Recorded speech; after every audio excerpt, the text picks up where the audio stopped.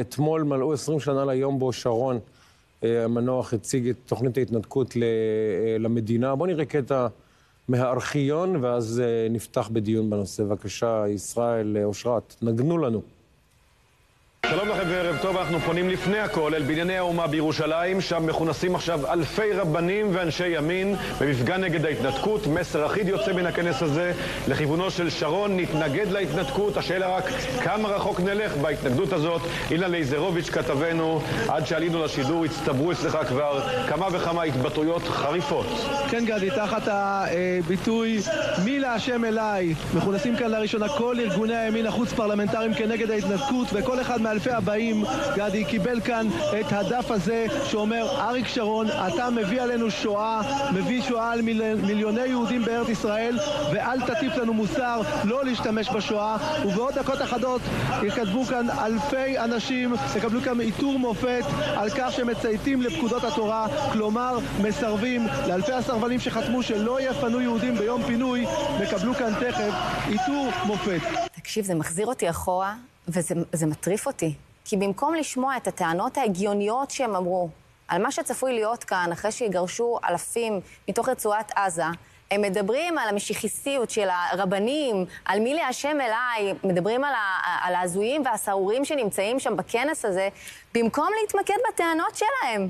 זה פשוט לא נתפס, הם מדברים על. השואה, הייתה כאן שואה ב-7 באוקטובר, מה מאות- שהם אמרו זה בדיוק מאות מה רבנים שקרה. ואנשי ימין קיצוניים התכנסו הערב בבנייני האומה בירושלים.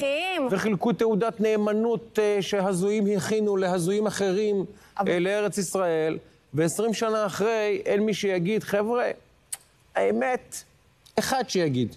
האחד שיגיד, נדבר עם הפוליטיקאים ומאלה שהיו מעורבים בעניין הנה, הזה. התקשורת. לא, וכמובן העיתונאים, האמנון אברמוביצים למיניהם, שיגידו, האמת, חבר'ה, טעינו. טעינו, זה הכל. אף אחד לא רוצה שישבו בכלא, אף אחד לא רוצה שיעשו להם מצעד בושה ברחוב. אבל תגידו, לפחות תגידו. תסתכלו לנו, לא, לנו בעיניים, לא- זה תגידו, לא טעינו. אתה יודע למה- טעינו. אתה יודע למה לעולם זה לא יקרה? כי הם אמנם הביאו את אוסלו, אבל אנחנו הבאנו את ההתנתקות. מי היה אריק שרון? הוא היה יושב ראש מפלגת הליכוד, להזכירנו. מי אה, עוד- עוד- עוד עשר שנים קודם לכן, עם אוס- עם אוסלו רץ וחיבק חיבק את ערפאת ברגע שעלה לשלטון, על גלי ההתנגדות לאוסלו ב-96? נתניהו. וזאת אומרת, השמאל הביא את האסון, הימין תחזק אותו מאז ועד היום. לא שינה קונספציה, תחזק אותו, המשיך אותו. נתניהו הצביע בעד ההתנתקות. נו, מה אנחנו רוצים מאברמוביץ'? בואו, תבינו משהו, אנחנו חייבים, השמאל הוא. נתון במציאות. אגב, נתניהו טוען, לא הצבעתי, כאילו זה... זה- זה הזוי. לא, זה לא ייאמן. זה כאילו- הזוי, זה כאילו- זה מופיע בכל ה... מה אתה יש- פרוטוקולים. אתה הצבעת בעד ההתנתקות. יש תיעוד, גם היום יושב פה באולפן להגיד לא הצבעתי, מה אתה, למה אתה הוא אומר לא את זה? הוא לא רק הצביע בעד ההתנתקות, שבעצם נתנה את כל השטח הזה שממנו הותקפנו, הוא גם שחרר את שליט, חייל אחד, תמורת כל הנהגת החמאס שעכשיו ארגנה לנו את הטבח הזה. נו, מה אתה רוצה מהשמאל? מה, נמשיך להאשים את אברמוביץ'? ברור שהם לא, אשמים. אבל קודם כל, אבל- אבל- אבל אבל רגע, אבל- אבל. צריך גם להגיד ביושר, היה כאן קמפיין מטורלל, שהפך את כל מי שמתנגד לתוכנית הזאת, וגם לסיפור של גלעד שליט, הילד של כולנו, לאויב העם. העם. צריך להזכיר את זה, נתניהו בסוף נכנע? הוא נכנע ללחץ, אתה צודק, אבל צריך גם לזכור מה היה. כאן בתקופה הזאת. את שמה לב, את שמה לב, מי מנהל את האסטרטגיה של מדינת ישראל? משרדי פרסום. משרדי הפרסום של גלעד שליט ארגנו את האסטרטגיה אז, ראש הממשלה נתניהו לא עומד בפניהם, משרד, משרדי הפרס, הפרסום רונן צור וחבריו מנהלים את האסטרטגיה עכשיו, עברנו מניצחון לחטופים, אם לא שמתם לב, אוקיי? ראש הממשלה שוב נתניהו, אז אנחנו מדינה שתחת נתניהו מתנהלת על, על, על, על, על בסיס משרדי פרסום של השמאל. להגיד שהפעם זה הרבה יותר זה- חמור, כי בוודאי שזה הרבה יותר במקרה חמור. של שליט לא הייתה עדיין איזושהי אסטרטגיה, המדינה לא דנה בזה ולא גיבשה מדיניות. היום כבר יש את דוח שמגר, נכון. שאומנם לא פורסם לציבור ואנחנו לא באמת יודעים מה כתוב בו, אבל מהדברים המעטים שכן אה, פורסמו, אנחנו יודעים למשל שיש המלצה חד משמעית שמשפחות חטופים לא ייפגשו עם מקבלי ההחלטות, לא להפעיל עליהם נכון, לחץ ולא נכון. לגרום להם ל- ל- אה, הוא גם אה, קבע יחס של להחלטות אחד לחמישה. זאת אומרת שלא ישחררו יותר מחמישה רוצחים על אה, יהודי אחד. אני, אני לא יודעת, אני לא בטוחה אם אתה קראת את זה. לדעתי אז- זה- מה אה, שפורסם. קראת אז בסדר. זה היחס, אחד אה, לחמישה זה הגג שהוא החלק. הגלוי שאני כן יודעת זה בוודאות שמקבלי החלטות לא ייפגשו עם משפחות חטופים. עברו, עברו על כל, אה, על החלטה שהתקבלה שם, דרך אגב, מהדברים הגלויים שאני קראתי, אה, כמעט שום דבר לא התממש אה, מתוך דוח שמגר, שהשקיעו בו לא מעט שעות. לא, אגב, אגב, הוגש אז ל... אגב. הוגש אני- אז אני- לשר אה, הביטחון אה, ברק. שאת זוכרת את זה. זה- זה- זאת נקודה סופר חשובה, והיא נאמרה לעת הזאת, לרגע הזה. נכון. אבל אני רוצה להגיד לך יותר, אני רוצה להגיד שני דברים. אחד, על אוסלו.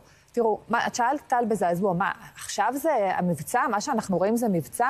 כי באמת זה נשמע בלתי נתפס. אנחנו רואים כניסה קרקעית לתוך עזה, אנחנו רואים דברים שלא ראינו אותם במשך אה, הרבה מאוד שנים. אז לכאורה אין פה מה להשוות וזה לא אותם סדרי גודל. הבעיה היא שהנחות היסוד הן עדיין הנחות יסוד של מבצע. זה עדיין פעילות שהיא מוגבלת, זאת פעילות שהאופק המדיני שלה מסתיים ב- בעצם כמו בהתחלה שלה. זאת פעילות שבסופו של דבר, אחרי כל מה שהקרבנו שם ואחרי כל מה שהשקענו שם, תחזיר את השטח הזה, לצערי הרב, אני מקווה שהאסון הזה לא יקרה, אבל כך זה נראה כרגע, עלולה להחזיר את השטח הזה לידיים של האויבים שלנו, וברגע שאנחנו לא הכרענו את המלחמה בשבוע הראשון באסון הומניטרי באמת, בעזה בצורה חד משמעית, אנחנו למעשה שמנו לעצמנו מכשול מאוד מאוד גדול. אני אפילו לא רוצה להרחיב, כי אני לא רוצה לחזק את אויבינו, אבל הכאב לב שיש לי על הדבר הזה הוא מטורף. עכשיו, מה שהראיתם פה, הסרט של הרבנים בהתנתקות, זאת הטרגדיה של הימין. כי את מי עניין הכנס הזה אז? את מי זה עניין? למי הם דיברו? לעצמם? לתלמידי הישיבות שלהם? לא, הכנס, אני- השידור של הכנס הזה נועד כדי להתנגח ולהפוך אותם לדמון נכון, אדיר וענק. נכון. ואחר כך במשך חודשים הפכו אותם לסהרורים ומשיחיים, זה כל הסיפור. נכון. לכן אילן לזרוביץ' היה שם. אבל מתי הם ילמדו את הלקח? מתי לא נראה כנסים של רבנים שמדברים לעצמם כדי להסביר לציבור הישראלי שתפיסת הביטחון של? ישראל? מעוותת? עכשיו נגיד הממשלה מחליטה לתת את, אה, את עזה לאבו מאזן. מה את רוצה שהימין יעשה למשל? אני רוצה שתהיה הסברה רחבה למיינסטרים הישראלי, למרכז הישראלי, שמדברת על תפיסת הביטחון של ישראל, כי בעיניי זה בכלל לא עניין של ימין עד ושמאל. עכשיו הסכמתי עם כל מילה שלך. רק שנייה, זה לא עניין של ימין ושמאל. זה עניין חד משמעי של קיומנו כאן. ואם אנשים לא יבינו את זה, כולל דמויות מובילות ו- ו- ומובילי דעה, שראינו שאחרי הרבה שנים שהייתה התפכחות לכיוון ימין, ושי, אתה היית חלק מזה, ואברי גלעד היה חלק מזה, והיו עוד אנשים שהיו חלק מזה, ואגב, גם בוגי בשעתו היה חלק מזה, אבל זה היה כבר מאוחר מדי. אבל עכשיו הם רוצים להפעיל לחץ, אין מה לעשות כנ- כנסי רבנים ולח- ולח- ולחשוב שזה מה שישנה את המציאות. פוליטיקת הזהויות לא מאפשרת לשום דעה להישמע באופן ענייני. היא לא, מש... לא מאפשרת להתייחס לשום טענה לכשעצמה. היא בסך הכל בסוף מתייגת אותנו. גם אני אקבל בקרוב את, התיוג, את התיוג משיחית, כן? כדי לנפנף את כל מה שאני אומרת, כי הכי אני- קל אני רוצה אבל- ככה. אני רוצה אבל שתשימי לב למשהו, ומשה, אולי אני, אולי אני מרים לך פה.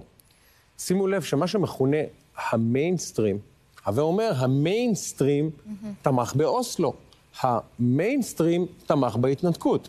המיינסטרים הציג מי שמתנגד להתנתקות כסהרורי כתום מטורלל. המיינסטרים תמך, אה, הציג כמי שמתנגד לאוסלו כמשוגע והורס ישראל ו- ושונא שלום. כאשר בפועל אנחנו מבינים היום שהשמאל, זו תפיסות שמאל קיצוניות.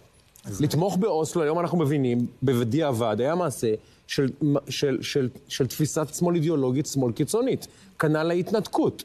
ובעצם המיינסטרים הישראלי, זאת אומרת, התקשורת הישראלית וסוכני התודעה הישראלים, וגם גנרלים וכן הלאה, מכשירים דעות מאוד מאוד קיצוניות, מלבינים אותם והופכים אותם למיינסטרים, ודעות מימין, אגב, גם אם הן קיצוניות והן לא קיצוניות, נתפסות כדעות שוליים שאסור להכניס אותן לשיח. מדויק. ככה בעצם סוכני מדויק. התודעה לוקחים תפיסות עולם מאוד מסוכנות, שמאליות מאוד, שמסכנות אותנו, ובדיעבד 7 באוקטובר זה מה שנקרא I rest my case, אין, אין מה לומר אחרי 7 באוקטובר, והופכים אותם למיינסטרים.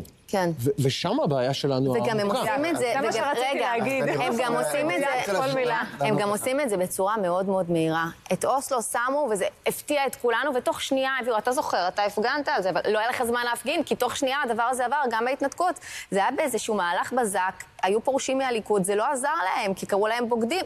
זה כאילו, היו כאן תהליכים. שפשוט לא היה זמן אפילו להתמודד איתם. מכיוון שהייתי, כמו שאמרת, בתוך הסיפור, בדידיה ועובדה, כמו שאומרים, אני הייתי חוד החנית של המלחמה באוסלו, הזו ארצנו וכולי. אז אה, אה, אה, פיקששת משהו מאוד מאוד חשוב בתיאור, שי. המיינסטרים היה נגד אוסלו. המיינסטרים לא היה בעד אוסלו. איך אני יודע? כי נגד כל הסיכויים ב-96, חצי שנה אחרי רצח רבין, נתניהו את מנצח את, הגדול, אה, פרס. נתניהו ניצח. מה העביר את המיינסטרים לאוסלו? לא שמעון פרס ויוסי ביילין. מה שהעביר את המיינסטרים לאוסלו זה כשנתניהו, זמן קצר אחרי היבחרו, לחץ את היד לערפאת וסגר את הגדר של אוסלו גם על הימין. זה מה שקרה. ומאז הרבנים הללו הפכו להיות הזעזועים באמת. למה? כי הם היחידים שנותרו, שהמשיכו לצעוק. כלומר, זה לא, מה שהפך את הרבנים, את, את הכנס הזה להזוי, מה שכל כך מפריע לך, הוא לא הם עצמם, ואל מי הם פונים ואל מי לא פונים, הוא שבעצם כולם הבינו שהם עומדים על המים בלי ספינה. אין, אין, אין אלטרנטיבה לשמאל, הם מדברים על עצמם. הם נשארו אי שם mm-hmm. על באיזשהו אה, חללית בחלל החיצון. אני חושבת שזה לא מדויק. היה כאן סחף מאוד מאוד גדול. אז הסחף. תמיכה גם בשחרור של גלעד שליט, אני מזכירה, הילד של כולנו, גם לכיוון אה, תוכנית ההתנתקות. אני זוכרת שאני דיברתי נגד ההתנתקות, ו... הרגשתי לא נעים, אנשים הסתכלו עליי כזאתי שמנסה לעצור את מחנה השלום, את השלום שעומד כאן בפתח. כי ראש הממשלה שלך הביא אותה. אז כנראה שגם הוא... זה נכון, אבל אנחנו יצאנו נגדו באותה תקופה. אז את הזויה? את אפילו ראש המחנה שלך הביא את זה, מה את רוצה? אחד מאבות ההתיישבות הישראלית. נכון. אה, הוא מביא את ה... מי שהקים את היישובים עצמם, לכן המסקנה היא, חברים, לא יעזור שום הסברה למרכז, וכן רבנים, לא רבנים, עד שאנחנו, המחנה הלאומי, הרוב היהודי, לא נבוא עם אלטרנטיבה ברורה לדרך של אוסלו, שאומרת כיבוש, גירוש, התיישבות בכל מרחבי ארצנו, החלת ריבונות, מה אנחנו עושים, נותנת תשובה מלאה. אני מצדיע לה, לאותם, לא, לאותה חבורה של אוסלו בהיבט אחד. הם לקחו את האידיאולוגיה שלהם עד לסוף לתוכנית מדינית. מה איתנו? באמת. אין לנו אידיאולוגיה אלטרנטיבית. אבל צריך לזכור שגם לא הייתה, אבל צריך לזכור שגם... צריך מנהיגות שבאה עם, עם, עם תוכנית אלטרנטיבית, עם אידיאולוגיה אלטרנטיבית. אבל תשים לב. אבל, אבל, צריך, אבל צריך לזכור שבאותה תקופה גם לא הייתה תקשורת לימין, ולא היה רשתות חברתיות, ומה שנאמר בטלוויזיה זה היה... וגם... בכל זאת ניצחנו את הבחירות. נכון, אבל גם נתניהו יישר קו במידה מסוימת, כי הוא ראה מה הלך הרוח. אני אגיד, לא, אז אני אגיד משהו על נתניהו. לא, לא, לא, לא עושה לי יותר שום הנחות. אני אגיד משהו על נתניהו. וגם לגבי הסכם אוסלו, אחרי שעבר הסכם אוסלו, מה יכל נתניהו לעשות? בשלב הזה, מה ציפית שנתניהו יעשה אחרי שעבר הסכם אוסלו? מה, הוא יכל לבטל את ההסכם הזה? אלף פעם. הם ביטלו אותו שמונה פעמים. על זה, אגב, אגב, על זה... ברגע זה הוא צריך לבטל את ההסכם. אגב, על זה, לפני שבוע נתניהו אומר, מספר הקורבנות מאז אוסלו דומה למספר הקורבנות 7 באוקטובר וכן הלאה, ומשתמש באוסלו ואומר, אבל אדוני, אל תשתמש באוסלו. אל תשתמש באוסלו כתירוץ לשום דבר, כי כמו שאומר משה, היה לך 20 הזדמנויות לבטל את זה. עכשיו, אם אתה משתמש באוסלו כדי להסביר למה היה אה, מחדל שאתה לא קשור אליו, ושאוסלו הוא אבי אבות הטומאה, ואוסלו הוא אבי אבות שבעה באוקטובר, זה בעצם הטענה שלו. אבל הוא כן בלם כאן הקמת מדינה פלסטינית. בסדר גמור. והיה עליו את כל הלחצים בעולם, ואתה זוכר את שלטון אובמה, ומה הלך כאן, ובכל זאת הוא בלם את זה. אז הוא ניסה בדרך דיפלומטית לנסות למזער את הנזקים. אבל אל תגיד לנו מאז אוסלו, כאילו שאתה לא היית פה 15 שנה ראש ממשלה, והיית יכול לבטל את אוסלו. אל תגיד, זה הכל. גם הסיפור של... הכל בסדר. טוב, אנחנו נעצור רגע את הדיון. היה יכול לבטל את אוסלו, שוב, אני לא חושב, יכול להיות שלא יכול היה. בסוף זה הסכם בינלאומי, זה הסכם שאתה לא יכול לבטל אותו, אבל אתה יכול כן למזער את הנזקים. הוא לא הקים כאן מדינה פלסטינית. הם חתרו בסוף להקמת מדינה פלסטינית, שהוא בלם חבר'ה, פרסומות, משה, כן. אנחנו איתך, יש לנו בוקר מעניין, כפי שאתם רואים. קצת סוער פה, אבל כן. ואגב, ואגב, וזה דיון שיכול לקרות רק, רק פה, בערוץ הזה. דיוני עומק, רק פה.